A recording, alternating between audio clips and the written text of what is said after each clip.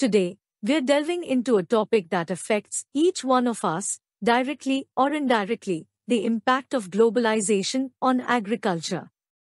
I promise, it's going to be an eye-opener.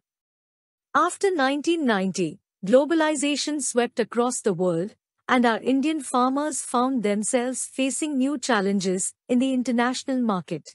Despite being major producers of rice, cotton, rubber, tea, coffee, jute, and spices, our agricultural products struggle to compete with those of developed countries. Why? Because those countries had something up their sleeves, highly subsidized agriculture. Now, subsidies might sound like a good thing, but in this context, they gave the developed nations a competitive edge. It's like a race where some runners have a head start. But fear not, my young geographers. The world of science has come to the rescue.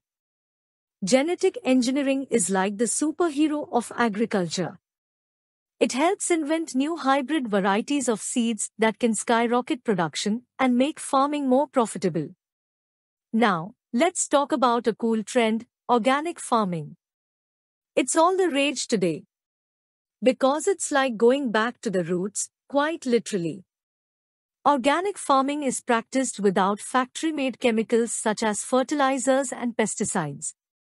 As we navigate through the ever-changing landscapes of globalization, let's remember the resilience of our farmers and the innovations that keep our agricultural sector thriving. Hope you liked this video.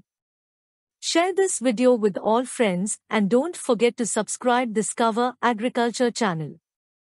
Thank you for watching this video. Have a nice day.